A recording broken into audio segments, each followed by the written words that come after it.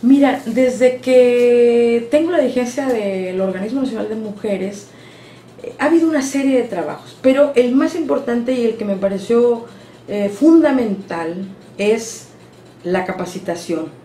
En el OMPRI hemos hecho mucho trabajo de capacitación.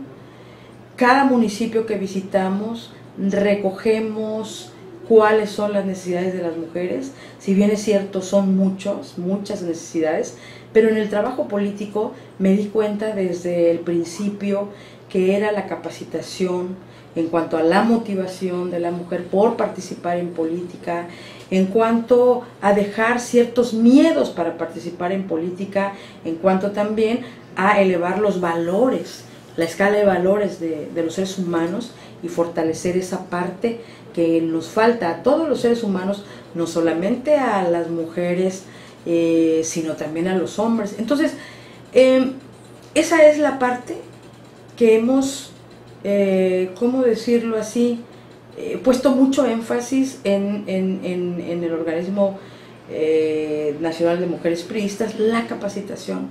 Porque pasó una cuestión, hay muchas mujeres en el pasado que han luchado por, por, por que la mujer avance en cualquier trinchera, que ha luchado porque se respeten los derechos humanos de las mujeres, que ha luchado por muchas cosas.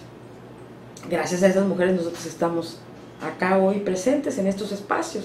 Entonces, eh, ¿qué pasa? Que a través de esta capacitación, eh, lo que hemos logrado es despertar esa conciencia de la mujer, de que la mujer vale, de la que la mujer puede tener también la capacidad en la parte política de poder eh, estar en competencia.